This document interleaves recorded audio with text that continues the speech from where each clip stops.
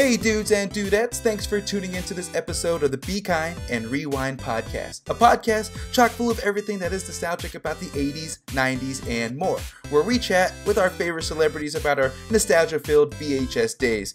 This episode, I'm joined by the man who's been working in Hollywood since the 90s, where you probably spotted him frantically searching for milk in the Got Milk commercials as tongueless prisoner Roach on the uh, People Under the Stairs, or storm chasing Alan Sanders from Twister, among countless other roles to this day. So I welcome character actor guru Sean Whalen. Hey, how are you, everybody?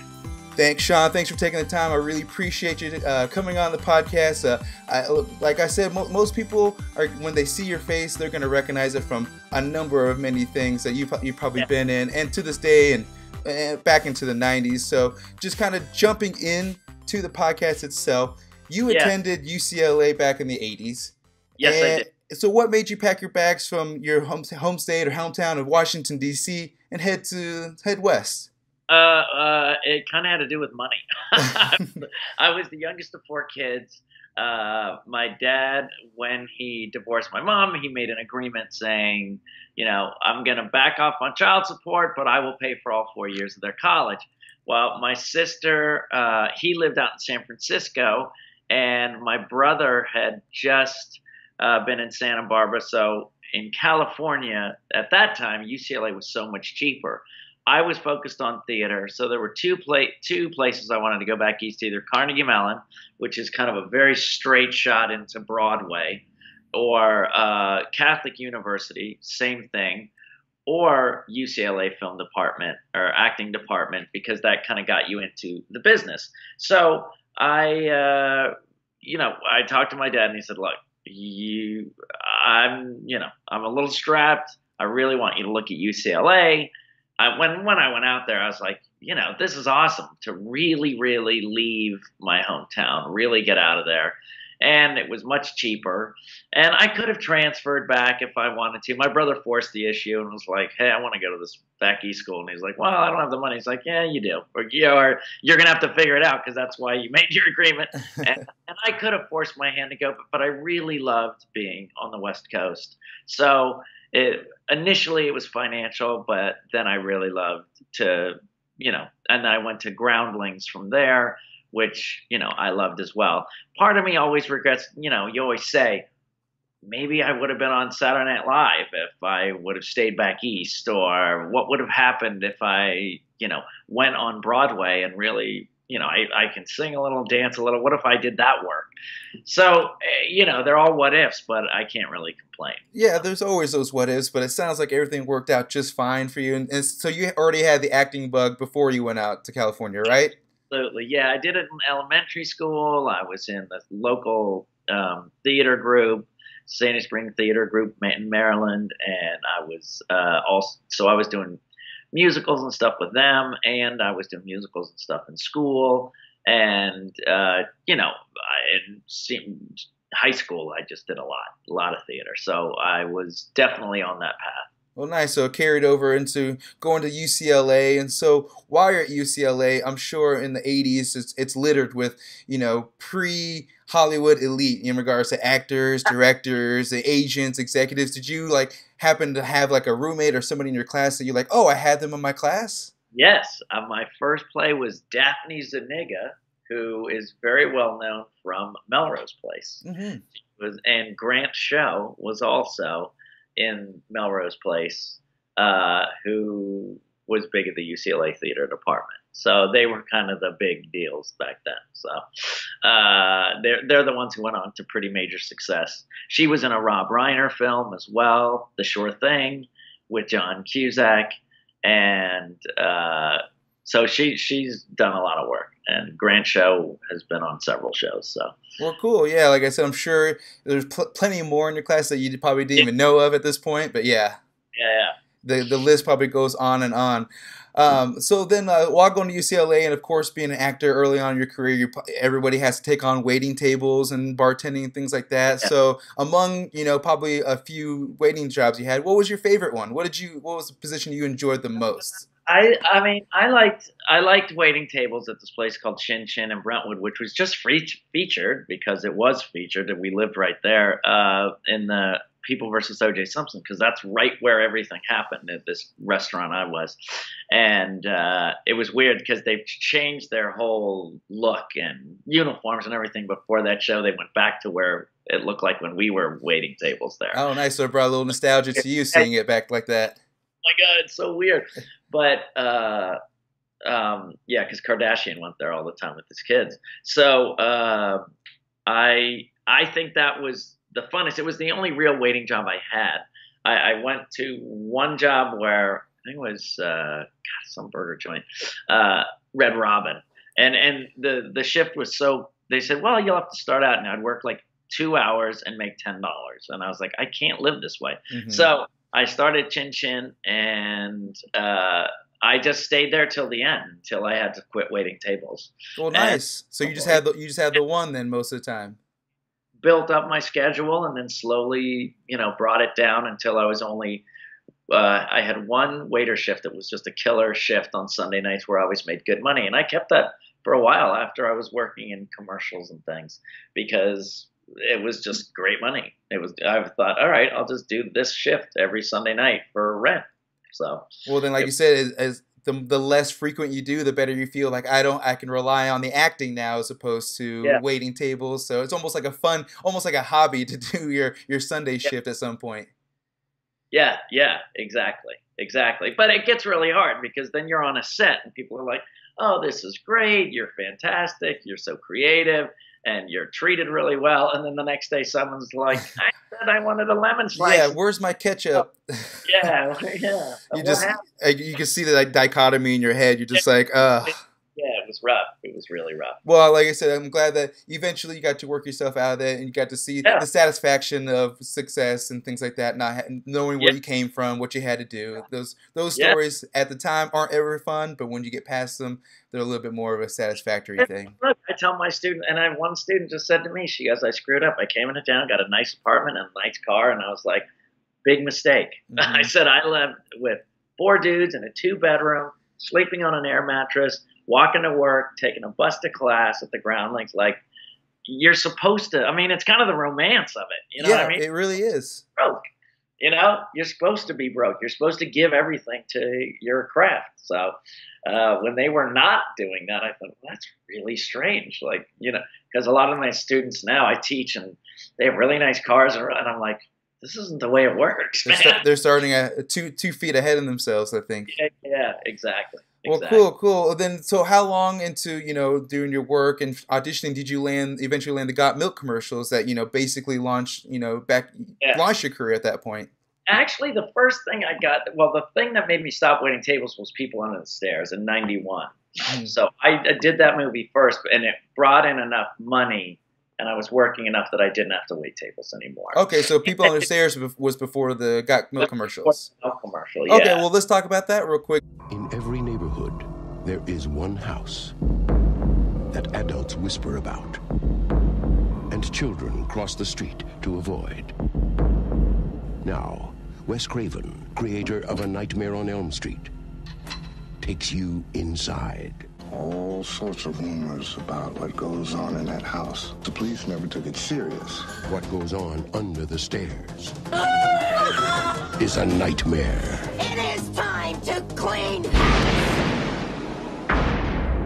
Wes Craven's The People Under the Stairs. Real quick, getting working yeah. with Wes Craven, becoming Roach. Like I remember seeing watching that movie a lot on HBO late night as a kid, just yeah, like yeah. freaked out by by Roach's half tongue and everything like that. So. you Everybody. you are responsible for sleepless nights in my life, so thank yeah, you for that. But so, what was the process of maybe auditioning or landing that role? It was kind of funny because it was just at, at that point I was done with the Groundlings. I was taking some drama classes, and I had a uh, coach, and I really, um, I, you know, I'd get auditions and I'd go to have him coach me. And when I went, uh, I was like, ah, it's cool. I just crawl around and scream. There's no lines. And he's like, no, there's a there's more to it than that. He goes, you have to be likable. You have to understand that, you know, who this guy is and that he got out and the others didn't, but he doesn't leave. He stays there for the girl. And he helped me really work it out.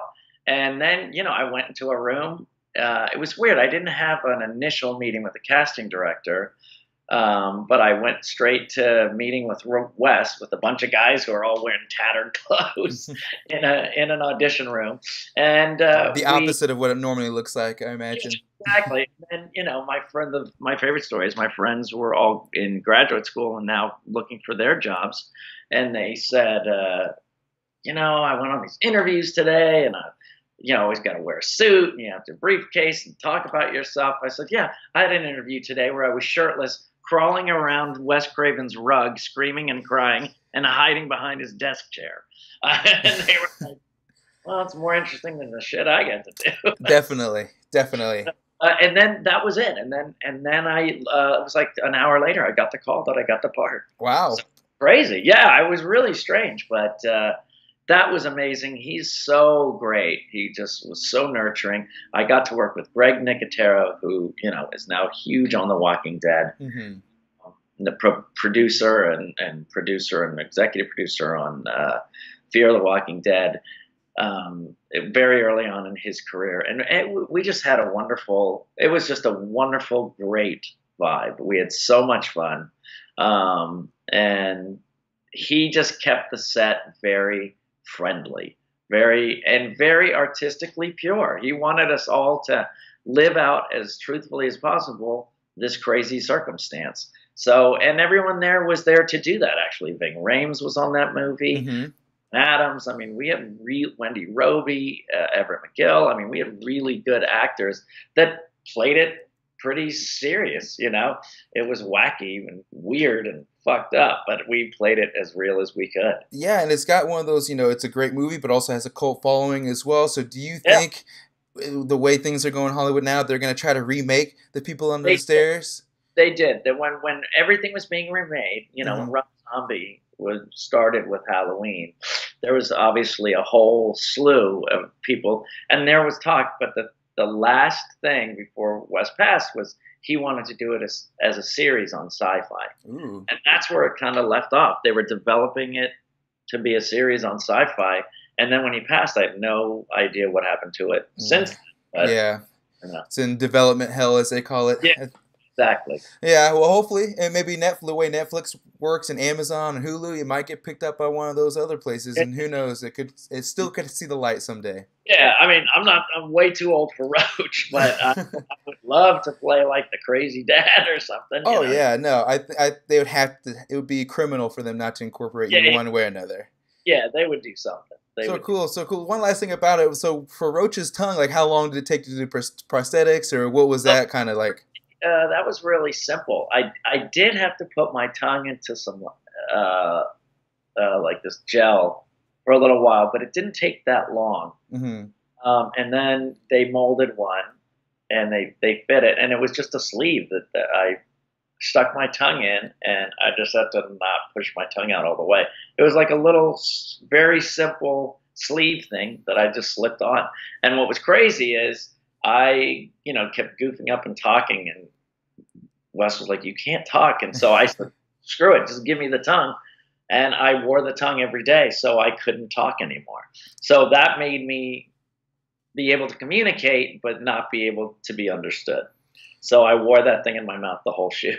Well, nice. Well, even yeah. know, watching it, knowing it's prosthetic, and now the confirmation from you, still seeing the scene where you put the right in front yeah. of your right in front of your tongue, still is going to get me every time. So it's it's a great. It's so awful. Great effect for sure. So, uh, well, kind of moving on to some other stuff you did in the '90s. I saw that uh, you played a pa- small role, Paperboy, uh, in Batman Returns. From the sewers of Gotham, a new villain emerges. You didn't invite me, so I crashed! I am Catwoman. Hear me roar. Yeah. Dear penguins, thanks to Batman, the time has come to punish all of Gotham! Above Gotham looms its greatest hero.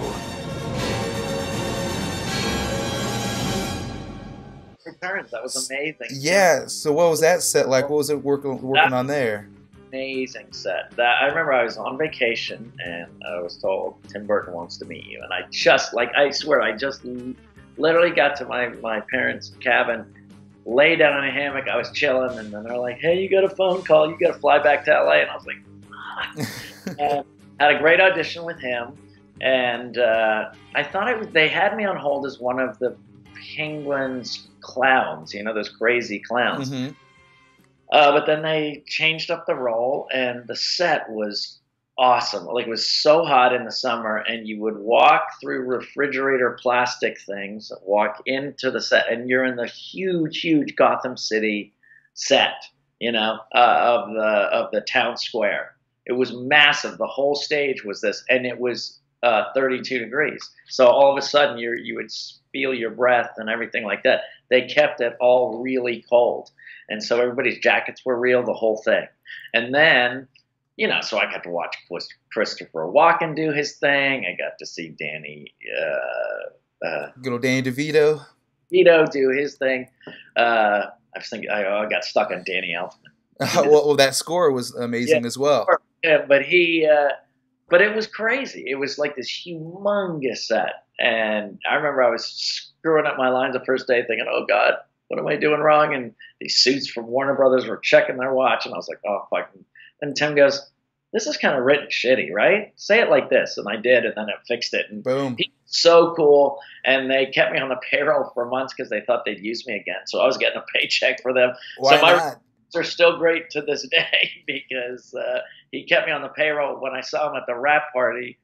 Because they said, "Why are you keeping him on payroll?" And he said, "Because we may use him again. Because he's the newspaper guy, and, and he's kind of our check-in point." hmm So when I saw him at the uh, wrap party, is he's like, I said, "Hey Tim," and he's like, "Sean Whalen, the reason that Warner Brothers Accounting hates my fucking guts." so that Hey. was awesome. hey, with some of those account, the way that accounting happens in Hollywood, they should be able to be able to hide that, no problem. Yeah, it was fine. Well, cool, I- cool. I, I. and so, uh, of course, you know, Batman was like in the, coming off the first Batman is still like huge. People were anticipating the second one to come out. Um, what were your thoughts when you saw the whole movie as well? It was intense. It was so intense. It was it was amazing to see. I mean, you know, I thought I still think it's one of Michelle Pfeiffer's best roles. Oh yeah, best Catwoman all around. yeah, well, best Catwoman by far. Uh, and Danny DeVito, I thought was one of his best dramatic things he's ever done. He was awesome. I mean, it was fantastic. Especially So, with all that makeup on, like the kind of like they, the- they stepped up that gruesomeness a little bit. yeah, it was. It was just very cool. I, I really thought it was awesome. It was. It was cool to be a part of that. Oh yeah, of course. Like I said, me being a, a true Batman kid, we eat, Yeah, drinking out of my Batman mug as it is. It's uh, Yeah. Bat, Batman Returns is uh, definitely near and dear to my heart. So I just had to get your your two cents on that one. Isn't that weird? They don't have a Batman convention. No, they totally should. They totally. All right, that's our new idea. All listeners, Boom. You heard us. You never heard us. Co-founders, they're gonna it's gonna be on BuzzFeed. Sean Whalen and Carlos Sanchez starting Batman convention. It's happening. But Dude. uh, Like, But you never know. We never know. Who knows? It's probably out there. It's probably like in some like so small Alabama town that we have no idea about or something like that. So it's out there somewhere. But moving Yeah. on uh, from good old Batman, uh, you went. Uh, you started worked on Twister in 1996 as Alan Sanders. Even as the seasons change, nature moves within itself, its colossal power and its delicate beauty in perfect harmony, perfectly, cosmically sane. Though periodically, nature will, in a kind of psychotic fit, go completely, randomly mad.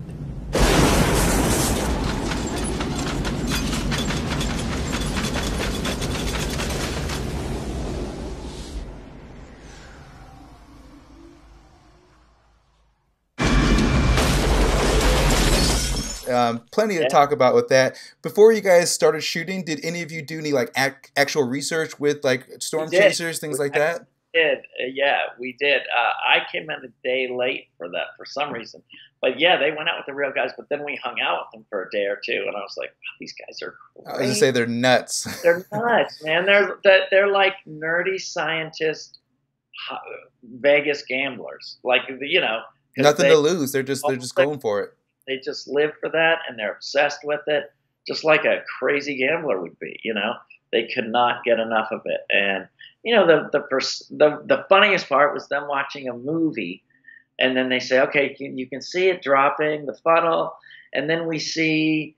Uh, okay, now we got now we have debris, which is great. It really lets us see everything when you see debris, and we were like, um, isn't debris cars and houses and animals and shit like that? And I was like, yeah, yeah, yeah. Anyway, and I Yeah, was anyway, yeah, that's crazy. And, and so that was really crazy. And then just being on that set was like a traveling circus all over the Midwest. It was it was nuts, but it was so fun. I mean, I made great friends with uh, you know may may he rest in peace, Philip Hoffman and uh, Bill Paxton. Um, two you know losses that suck in any realm, but just Mhm. Twister.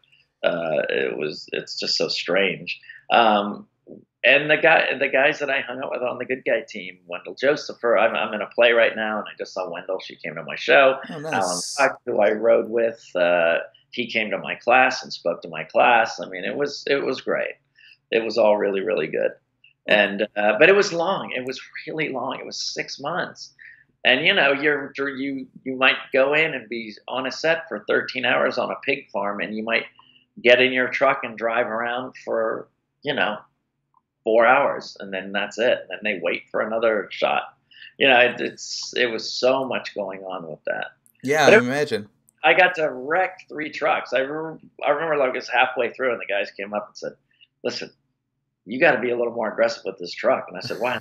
Because they paid for three, and we're only using one, so they're going to give us a ton of shit at the end of this movie if you don't use all three. And I was like, "I'm down." So it's like going into ditches and breaking the axle, and It's like it's like a business surplus. Like, uh, we need you to kill two of these trucks immediately, or we're not going to get them for next one. know, this is that called. Uh oh, we're gonna pull the curtain, pull the curtain back here, folks, for a few minutes. And You're a real deal in place. Hey man, I'm doing a podcast right now, and they're listening to us. All these lovely listeners. Yeah.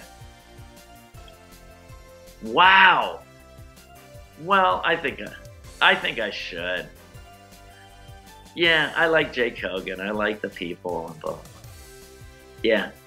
Yeah. Yeah, yeah, yeah. And I, they could easily recur, and yeah. And I also think like it'll be good to network and see if I'd like to bring some of those people to our show. Yep, let's do it. Bye. That's negotiating in Hollywood. You heard it, folks. No negotiating in Hollywood. take take it as it comes, they say. they say take it or leave it. So Well, cool. Well, well, like I said, folks, we just we just got the curtain pulled out behind us, so we can definitely see how it goes down in Hollywood. going to be doing a, a guest star on the uh, TV show School of Rock. So Ooh, cool, cool. uh, yeah, Hey, keep the lit the list keeps going. Just The that list- I just add to the IMDb. That's just gonna be like hey, yeah, it's got a Rolodex in there. yeah, yeah, yeah, exactly. well, uh, just uh, last few things uh, real quick about Twister. You guys shot uh, out in the Oklahoma, across the, the Midwest. So, like you said, what was, what was maybe your favorite town or place you guys stopped in? Uh, I really loved Ames, Iowa. Oh, I- okay. Great. Well, we were in a tiny town of Ponca City, Oklahoma, that was, you know, just a strip with a Walmart and a Burger King and, a, you know, CVS, or, you know, and then there's nothing there. And, you know, you'd get stir crazy because we had to stay. Luckily, I worked. A lot of these guys had to stay um, because they just never knew when they were going to need them because we were Mhm. always facing bad weather. And whenever there was bad weather somewhere, we'd go shoot there. So we were literally like storm chasing filming the movie because we had to they wanted to shoot in the worst weather possible always. So um, Save that money on the uh, the posts for Yeah, the exactly. effects. so then yeah, exactly. So then we went to Ames, Iowa, which was a nice college town. University of Iowa is nearby, and oh my God, they had really nice restaurants and you know some cool independent movie theaters. It's like a beacon of civilization in the middle of the Midwest. oh my God, they know what romaine was. It's really exciting when you've been eating iceberg and they look at you like you're insane. yeah. uh, it was no, that was I really liked Ames, Iowa, and I really liked uh, Oklahoma City. We worked in Oklahoma City towards the end. We were working nights, so I didn't get to see much of it. But Ames, I really, I really enjoyed. And then we would drive and do antique shopping and stuff in Tulsa and stuff like that. Oh, those antique shops are a dime a dozen out there on those highways. They Yeah. get you to stop in there. Yeah, yeah, yeah. You can get like uh, it was like, do you want to have a Coca Cola tin for your wall? There's seven million of them. Yeah. Oklahoma. all negotiable as well. All get get the negotiations going at those antique shops. So cool. Well, yeah, I like I said, watched the movie. Of course, growing up in the Midwest, Twister itself made me. Yeah. My, it almost made my parents hate me for how paranoid I was about Twisters after watching the movie. I was like locked on the Weather Channel. I had our emergency numbers in my backpack, kind of a thing. So Where did you grow up? I grew up in Emporia, Kansas, um, which is Oh, like an hour south of, Yeah, right in the middle of Tornado Alley, right there. So. Yeah. That is so- scary. Yeah, so Storm Chasers, I've definitely met a few of them, and they are some different characters for sure. So it's, a, it's like a, it's like an extreme uh, motorcycle person just in a van or in a SUV Yeah. chasing a storm. Yeah, it's nuts. They So- are. They're nuts. They're a different breed. They're definitely a different breed. Well, cool, cool. Uh, yeah, like I said, Twister's always uh, always had a little bit of effect on me to some degree. Yeah, yeah, of. Uh, but uh, another classic movie you were you were in, you had a, a, a smaller role in, was you're the heckler, and uh, for the Yeah. wonders and that thing you do. Guy Patterson didn't have a perfect job or a perfect social life. What's going on down there? Cooking the books as usual, Dad. But what he did have was perfect timing. How about sitting in for Chad just for tonight? Why? Just broke his arm. And in one night, That's too fast, guy. Slow down! Guy, slow down! Guy Patterson is going to take the wonders It's all right! from garage I almost slugged some girl. She had her eye on my Jimmy. to greatness. Become that thing you do.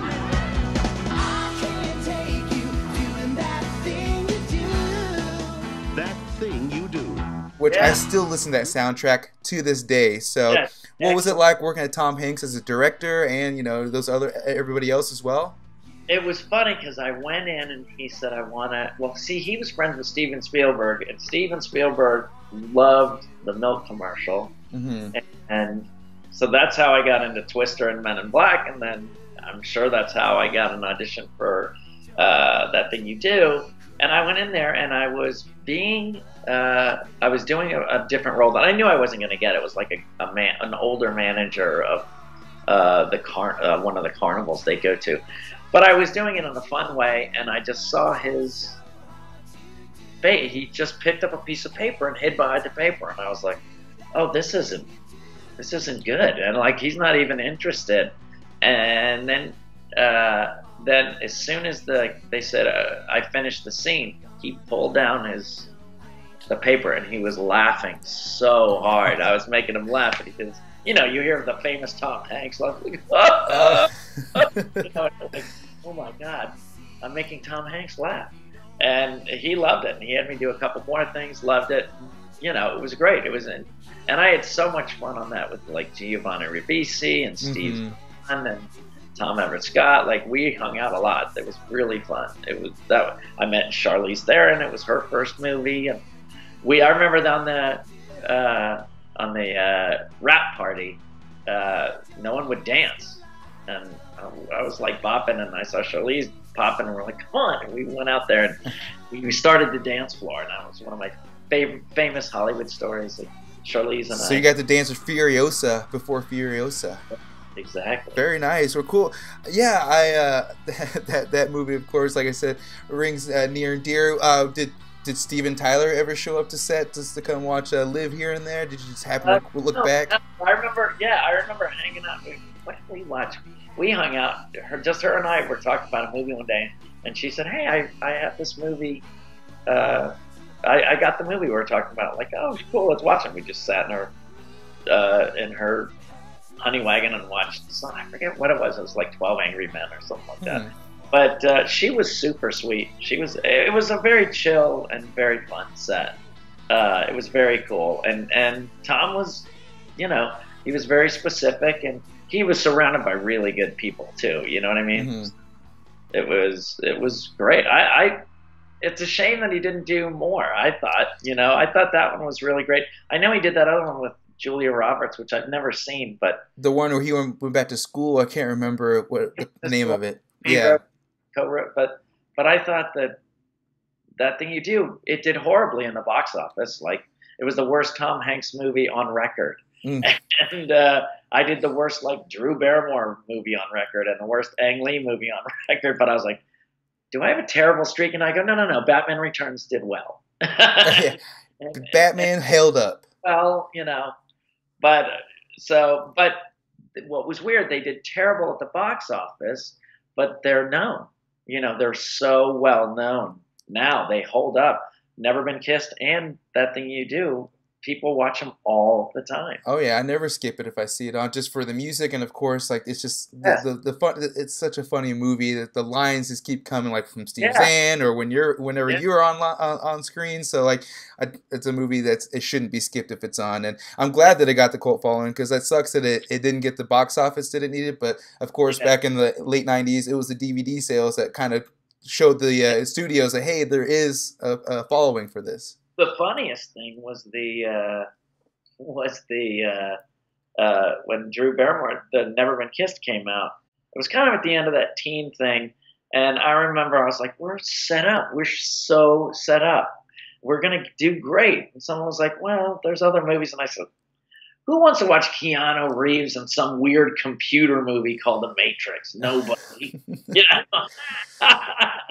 and we were like blown out of the water by them. So it Uh, was. Uh, it well, was. I have to admit, I did see both movies. I, I'm a fan of both. I, uh, The Matrix and Never Been Kissed. You were great in that movie as well. I loved your character in that one. Well, Yeah. I, get into that real quick. What, like, how'd you develop that character? Was that written that way? The way I see it, we are tomorrow. Hello, I'm tomorrow. Because when we get the money and the power, the women come to me.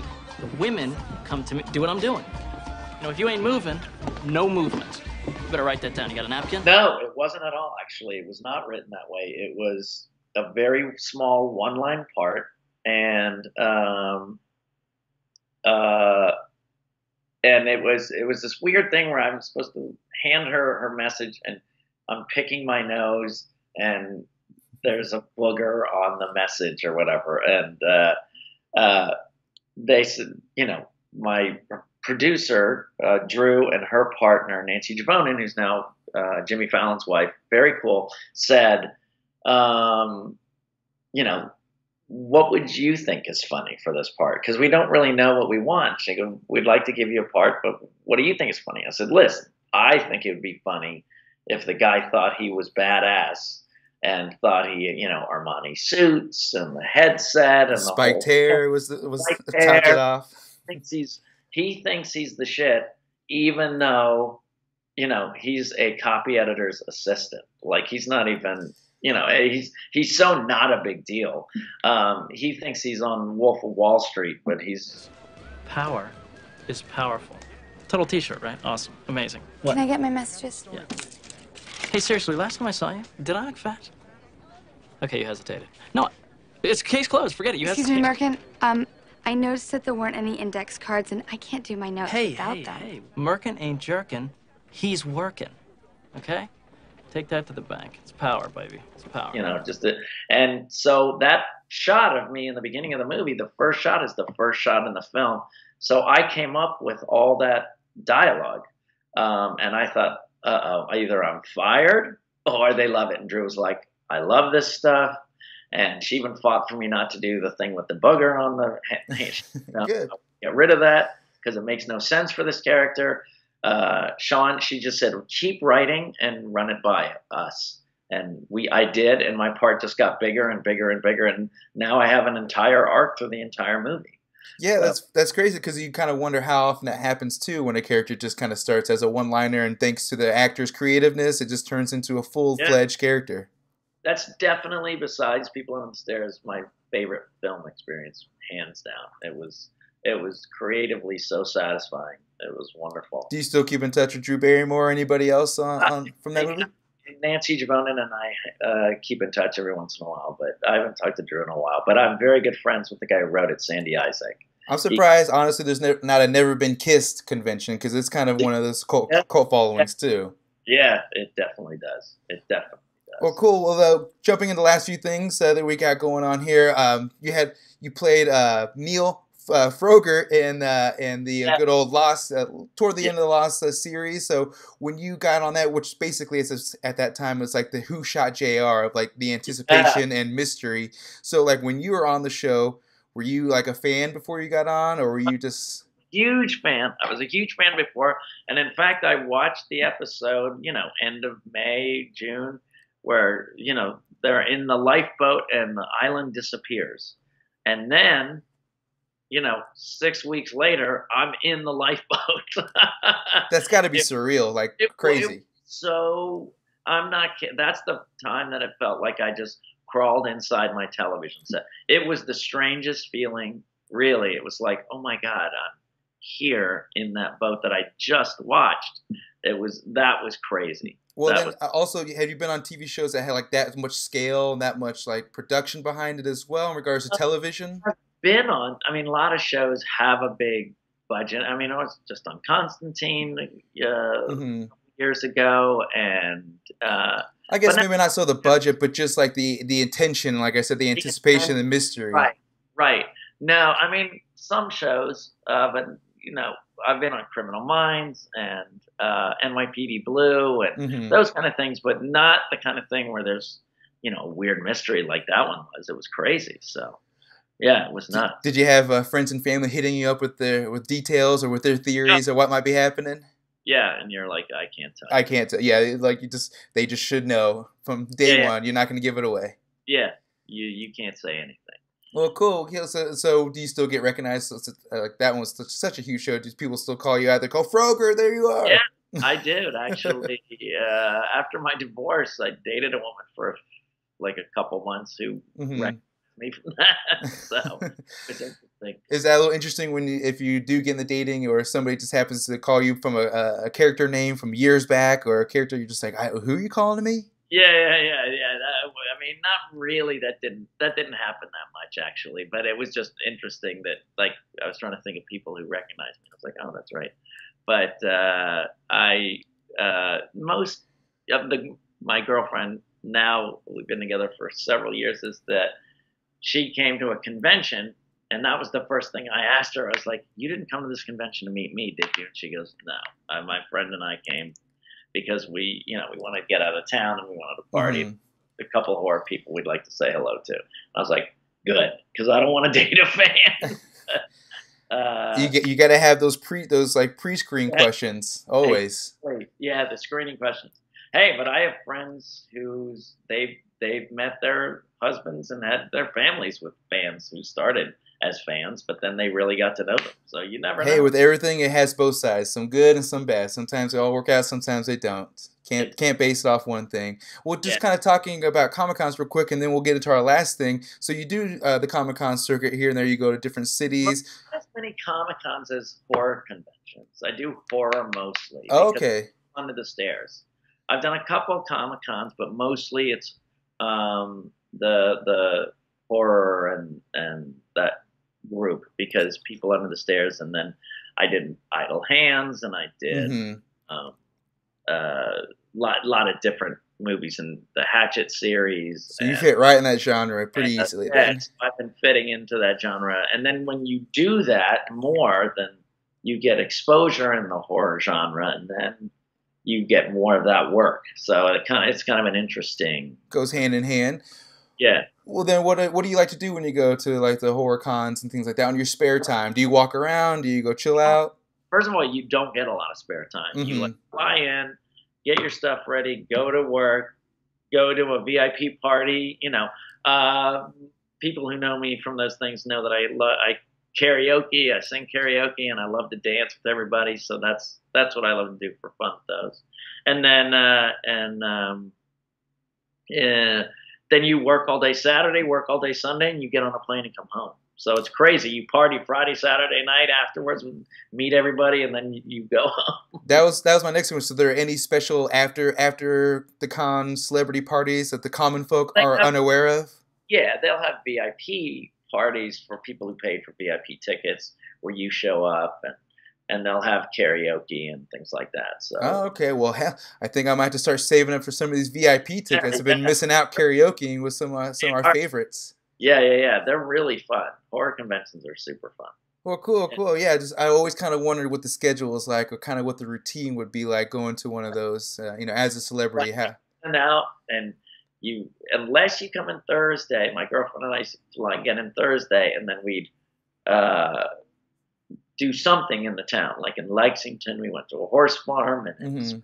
Massachusetts, we went to the Dr. Seuss Sculpture Garden, and we tried to do something because it's like this is it, you know. Yeah, my only chance to do something on Friday before the show. Once Friday hits, you're just working, and even after you're working because you're meeting people and you know going to the parties and stuff like that. So kissing babies, it never ends. exactly. well, cool, cool. Well, uh, one of the last things I wanted to go over is that you're currently at James Franco's Acting and Film School as the improv instructor for actors.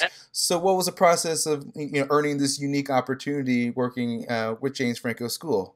Uh, well, I uh, his creative director Sean Barnes, a guy I went to acting class together, and look, people always ask me, what do you tell people uh, who are starting out? I'll say two things. One, create your own content. I created a play called Psyche on Vine, which is got a permanent run in Hollywood through 2018. So if you're in the LA area, you can come see me in a comedy play that I co-wrote and star in. Um, and then the other thing I say is be cool to work with. So 25 years ago, I was in acting class with this guy. Now he's running the creative director of the school. I went in there and I did a six week program. It was received so well. They asked me to do another one. That was received so well. They asked me to do another one. And then I said, let's just do this full time. Yeah. So I head the department, and it's really fun. And so we do uh, improv shows and we do written sketch comedy shows. So Well, cool. uh, yeah, it's really really great. So, what's the process for someone who maybe is interested in like joining your class or you know joining up the school itself? Yeah, you can audit my class for free. You just go to studio4la.com or James Franco School. You can put it in, and there's a section that says audit, and you can come and you sit in a class. But anyone who comes to my class doesn't sit down. They participate with us. They play with us, and there you go. And then we, uh, then we, um, uh, then you decide if you want to join the class or not. Oh, cool, Real- cool. So if I ha- happen to someone have to be if I happen to be or somebody's visiting LA and they want to just come in for a one off, they can do that. Absolutely. Yep. Well, awesome. That's that sounds awesome because ho- I'm thinking about being in LA in, in uh, next year sometime. So you may be seeing me sneak into your, one of your classes. I, I better see you coming to my class. Perfect. Well, it's going to happen. Well, awesome. So, on top of doing this with James Franco School, I know you have other talents in regards to production roles. What else do you do, you know, behind the scenes? Well, I, like I said, I, I, I co-wrote and produced um, uh, this play that and that I'm putting on uh, and starring in. Uh, I am teacher. I'm a looper. That means you do you do ADR stuff behind the scenes on a couple of my friends' shows.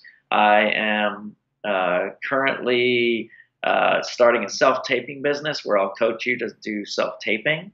Um, I am a gosh, I have so many different things. I'm a coach. I have a student coming soon uh, to coach with me. I'm a landlord. I own a couple properties in in the East Coast. Like I do a ton of stuff, and now I'm gonna start uh, a charity that I'll have to get in touch with you when I'm about to promote it because I want to get good promotion for it. Yeah, definitely get that out there. So, busy for you is an understatement then. yeah, yeah. But I'm happier than I've ever been. So it's That's great. I'm the same way. I mean, I full time job doing the podcast, doing some other side things. Staying busy, keeping your mind busy, I think, is keeps you a little younger, at least keeps you on your toes. One hundred percent, man. One hundred percent. For sure. Well, well awesome. Well, Sean, like I said, you're always a busy man. What are your upcoming projects and uh, what that you want to promote, and where can people find you on social media to follow all these things? Uh, get, follow me on Sean M Whalen. Just friend request me on Sean M Whalen. I put everything up on there. I have these caption contests that I do that are really fun. Um, uh, I am, gosh, I'm directing uh, the comedy improv show and the written show at James Franco School. You can go to Studio 4LA to see, you know, when the comedy shows are coming up. I'm starring in this play in Psyche on Vine. Um, I'm working with a producer from China, and we I wrote a movie called Crust. It's a comedy horror movie that I'm producing that and creating a western uh, that I'm producing or writing, and hopefully going to work with this woman as well, making that. Um, and I just got booked on School of Rock, as you heard, literally on the show. on the show. So uh, we can all say we were part of the process, folks. Uh, if you go to Netflix, you can see me on uh, a movie called Street Level. A guy named David Labrava from Sons of Anarchy wrote and directed a movie. It's one of my favorite dramatic roles. I play a serial killer. Um, a great, fun horror movie called The Axe Murderers of Villisca. Um, that's on there as well. And pretty soon I'm coming out in Death House, which is one of the most anticipated horror movies of this year because it's like the Expendables for horror people. Very so, cool. Yeah, so things are going things are going well. oh yeah, well, awesome, awesome. Well, Sean, like I said, you always sound very busy, so everybody follow him on social media to keep up with everything that he's in, and don't don't forget to check the IMDb because, like I said, you know you have seen him in something that you didn't think you've seen him in. So it's like a, it's like a they should make a board game. Sean Whalen, did you see Sean Whalen in this movie? yeah, exactly. That should literally be a board game. Well, Sean, thank you so much. I, I definitely appreciate you taking the time for coming on today. Uh, we're definitely gonna get we're gonna do some promotions for the charity once we get that information going and go from there. So again, thank you, but yeah, thanks everyone for tuning you into this. Homework, which is very cool. Thank you. It, I mean, when, when you when you grow up watching it, it didn't take that much homework, but I do appreciate that. Uh, but for everybody else, thanks for tuning in to this episode of the Be Kind and Rewind podcast. Subscribe, like, follow, and rate the podcast on iTunes, SoundCloud, Spreaker, and YouTube. But don't forget to find the episodes on Poop Culture Network website at poopculture.com, along with other stellar podcasts as well. So thanks everybody, and be excellent to each other.